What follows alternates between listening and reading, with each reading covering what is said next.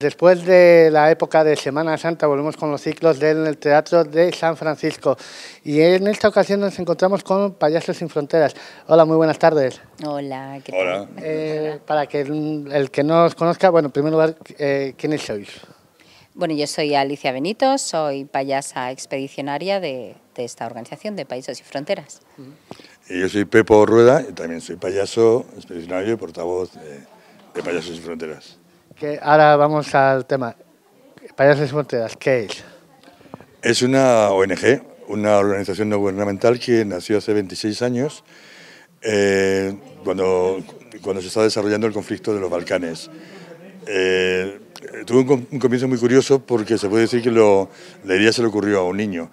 Eh, había una organización en España que se llamaba Educadores por la Paz, que propiciaba que niños españoles se cartearan con niños croatas. Entonces uno de esos niños eh, le preguntó a un payaso de Barcelona, Turtel Poltrona, después de una actuación, que él estaba escribiéndose con un niño croata y que iba a ser su cumpleaños y que se le había ocurrido regalarle una fiesta de payasos. Y dijo, ¿por qué no vas tú? Que tienes furgoneta. Eh, Turtel Poltrona se quedó así un poco, pero está muy lejos. pero bueno, este niño, eh, lo, consultó con otros amigos payasos, se fueron allí en la furgoneta y cuando volvió a Barcelona se dio cuenta de que aquello tenía que repetirse porque la semana que habían pasado se dieron cuenta de que, de que había sido impresionante. ¿no? Y fundó Payasos Sin Fronteras. Esto fue hace 26 años. Payasos Sin Fronteras se dedica a ir a conflictos bélicos. Sí, lugares donde hay, donde hay conflictos bélicos o hambrunas, eh, o algún tipo de catástrofe tipo terremoto, etc. Pero siempre en países en los que no tienen la posibilidad de, de ellos propiciar esa ayuda terapéutica de los payasos, ¿no? Eh, es decir, países del tercer mundo.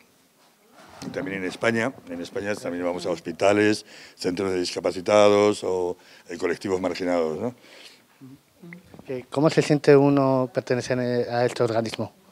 Bueno, pues muy orgulloso y muy agradecido y bueno, es una gran suerte tener la oportunidad de ir a, lugares donde tu trabajo, que los que somos payasos consideramos que es el trabajo más bonito del mundo, donde tu trabajo es necesario, ¿no? A veces decimos, porque en un lugar donde ha habido una gran catástrofe, un gran terremoto, hace falta un payaso. Si lo que hace falta es dinero, eh, eh, comida, eh, casas, dinero, pero es que hay algo más allá de solo comer o hay un punto más allá que es la dignidad de la persona.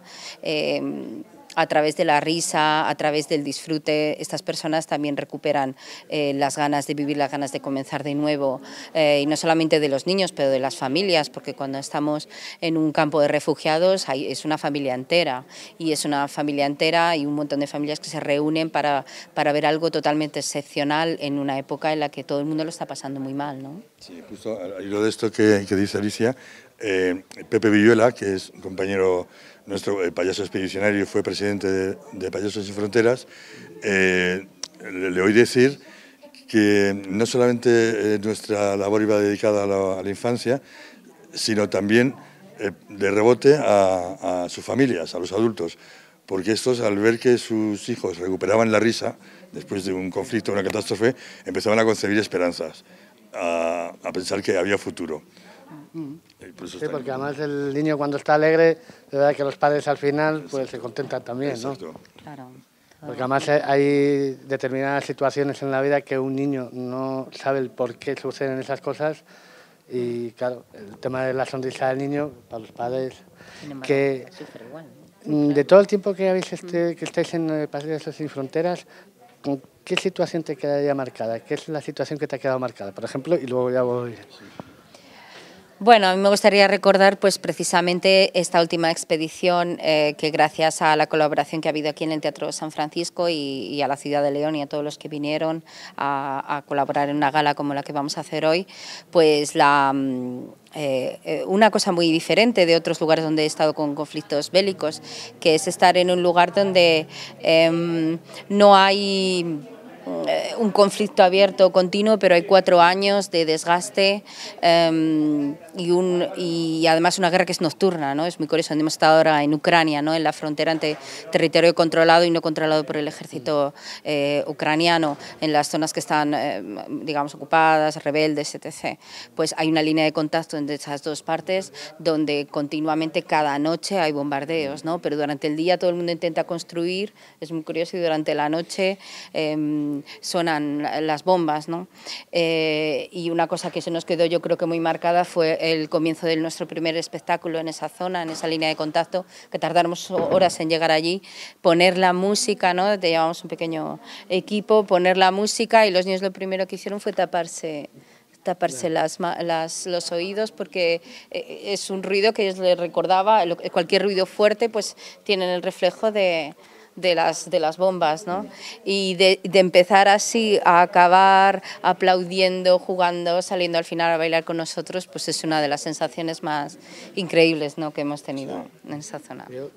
Que es duro cuando hay un conflicto, el hacer un espectáculo de, para que los niños lo pasen bien, hay que tener bastante fuerza, ¿no?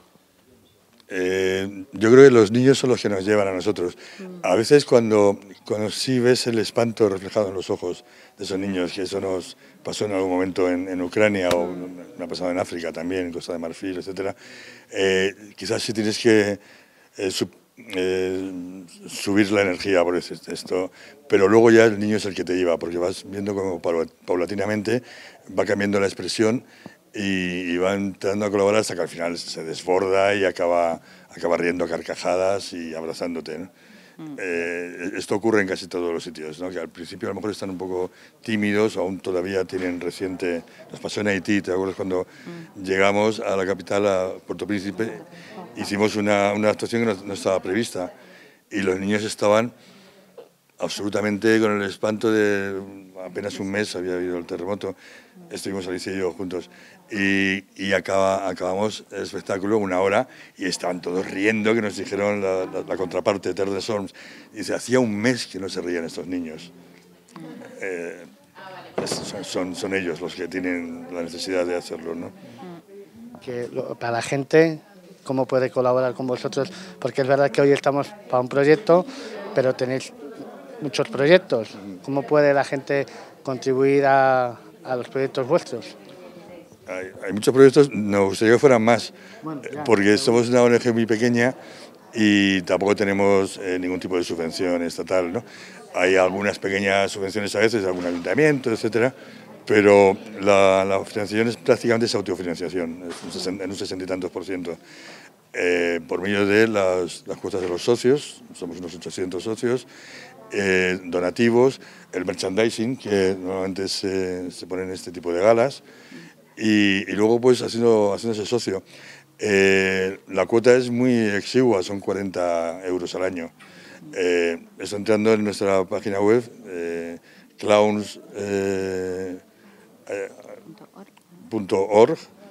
c l o w n s.org, ahí pueden informarse hay muchas formas de colaborar. Eh, una de estas es viniendo a este tipo de, de eventos. ¿no? León es una ciudad generosa, me refiero en, estos, en este aspecto. Estamos muy contentos, es el segundo año que se organiza esta gala, hay un llenazo total, por cierto, desde ya esta mañana llenazo total, o sea que eh, la ciudad de León se ha volcado en esta gala siendo solamente el segundo año, así que encantados de que haya aquí una delegación y sobre todo eh, los artistas que hay aquí que, que están trayendo esta idea a la ciudad y que con toda esa ilusión vienen también hoy a participar en esta gala, porque vienen también artistas de, de varios lugares de España, también para colaborar y esperemos que os guste mucho el espectáculo, porque también es importante que os guste lo que hacemos, claro. Bueno, pues nada, me tengo que despedir ya de vosotros para que ya os preparéis y agradeceros que existáis, que exista el grupo, que existáis vosotros que sin ánimo de nada ni de beneficio estáis haciendo este tipo de actividades que para los niños y no para los más niños, viene muy bien. Hmm. Pues muchas gracias. Venga, muchas gracias. Vamos a cerrar, gracias.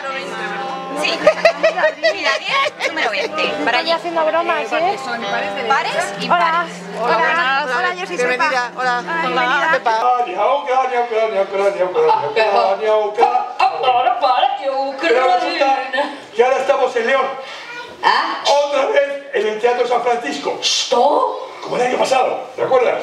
¿Esto? Espera. Hola.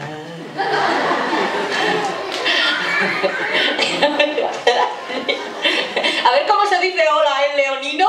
Hola. Leonés. Hola. El leonés. ¿Eh? El leonés. Ah, el leoniano. Hola. Pues precisamente eso es lo que quería recordarte. Sí. Alicia. Yes. Tú sabes, gracias. ¿Quién es? Perdona, estás con Fifi. Fifi. ¿Sí? ¡Ay! Fifi. Fifi. Ay, que se ha ido a Ucrania y se le ha olvidado los cráneos. Ay, ay, ay, que está En Ucrania te has quedado el cráneo. Alicia, antes. ¿Eh? Fifi, perdona. Perdona que me estaba viniendo con otra. Pues que quería contarte, Fifi, precisamente es ¿Qué? gracias a qué. ¿A ¿A quién ¿Qué? fuimos a Ucrania? A mí. Eh, no, sí, bueno, gracias a ti, mí y a todos los cuatro, el equipo de cuatro y el fotógrafo que fuimos. Pero, además, gracias a quién pudimos hacer la expedición a Ucrania. A ti. Ya lo sé, a ti, a mí, a Nacho, a Silvia y, a- Ajá. y al fotógrafo, a Jorge. Ajá. Pero gracias a quién, además. A Akanur. Sí, también, a Knur. La, la Organización de Cooperación para de los del Refugiado, que nos llevó por todos los sitios, Sí, que nos metía en esos, en esos coches blindados y atravesábamos las, todas las carreteras con agujeros, pumba, de, de, de, de, bombas, pumba, y otro por aquí, cuatro, cuatro horas por aquí, por acá. Que sí, sí, todo eso lo sabemos. Sí. Knur siempre es la contraparte que, eh, que nos ayuda, nos, nos, nos efectúa la programación y toda la infraestructura. Pero fundamentalmente, Fifi, gracias a quién pudimos hacer la expedición. ¿Eh? A Payasos Sin Frontera. Claro. Y Payasos Sin Fronteras se financió gracias a una gala que hicimos el año pasado precisamente aquí. Es decir, que gracias al público de León pudimos llevar a cabo esta expedición.